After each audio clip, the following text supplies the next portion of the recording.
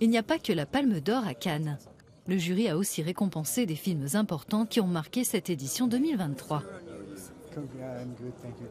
Le grand prix du jury est revenu à Jonathan Glazer pour The Zone of Interest, un film glaçant qui nous plonge dans la vie quotidienne de la famille du commandant du camp d'Auschwitz.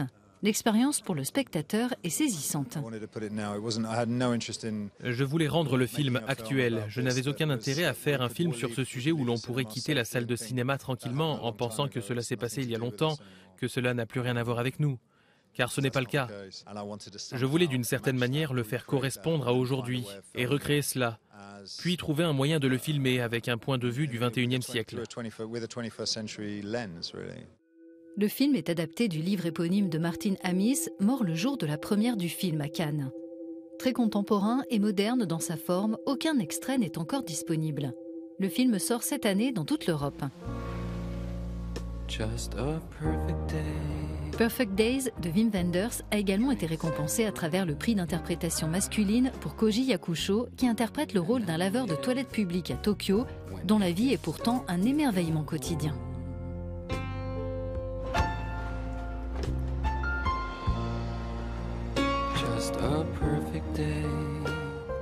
Koji Yakusho est l'un des grands acteurs japonais vivants, fidèles de Kurosawa. Il avait aussi joué dans L'Anguille d'Imamura, Palme d'Or en 97.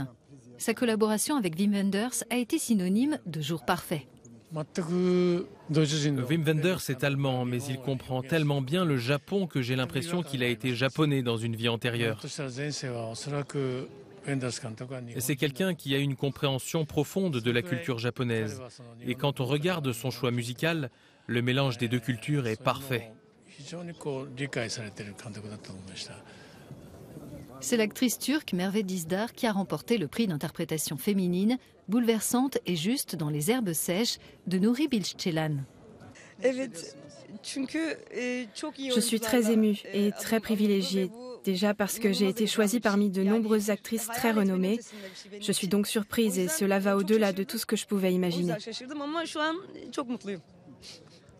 Je partage ce prix avec les femmes de mon pays et du monde entier car tant qu'il y a des femmes, il y a des combats. Et tant qu'il y a des combats, il y a de l'espoir. Les Herbes Sèches est un film lent et ample qui nous emmène aux confins de l'Anatolie, dans une région où les distractions sont rares.